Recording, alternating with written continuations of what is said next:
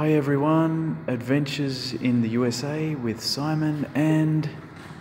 Althea.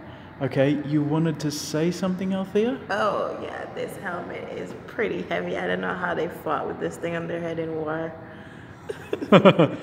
um, Yeah. yeah. And um, It's pretty heavy. yeah. okay, so and you were saying something else about the armor. Do you Oh, do you want to like show them this piece of armor Yeah, over the other side? Okay, I'll. I'll, follow you. Um, take off the helmet, otherwise the museum people will go like, "Oh, you're stealing the helmet! What the?"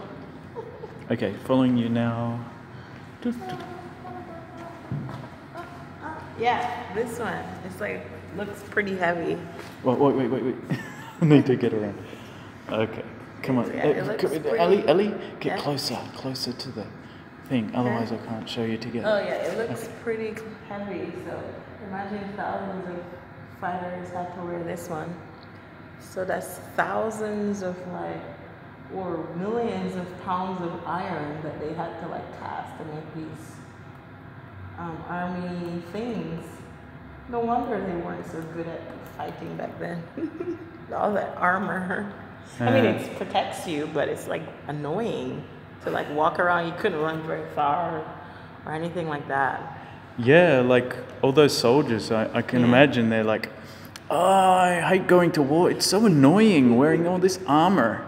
I wish I could just like wear my swimsuit. yeah, sure. Yeah. Okay. Okay, bye-bye. Bye.